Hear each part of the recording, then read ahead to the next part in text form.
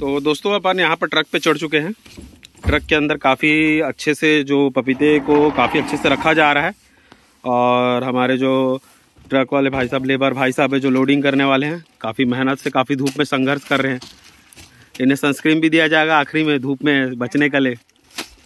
और ये देखिए, हमारी जो महिलाएँ हैं, काफ़ी मेहनती हैं और काफ़ी जोश से भरी हुई हैं यहाँ पे।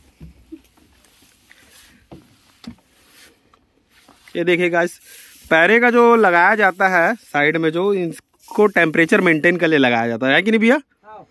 टेम्परेचर तापमान में रहे ताकि पपीता पके मत। पकना चाहिए अच्छा पकने के लिए लगाते हैं। ठीक है। तो कितना दिन लगता है इसको पकने में? अगर इसे ऐसे रखा जाए तो इसी की।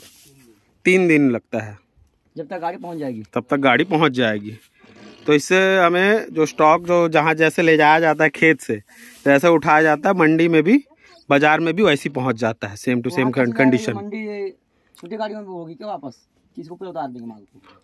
पूरा खाली होगा वहाँ के जो रिटेलर्स हैं वो खरीद के फिर अपना बेचते हैं। ठीक ठीक ठीक। कोई और जानकारी चाहिए तो बताओ।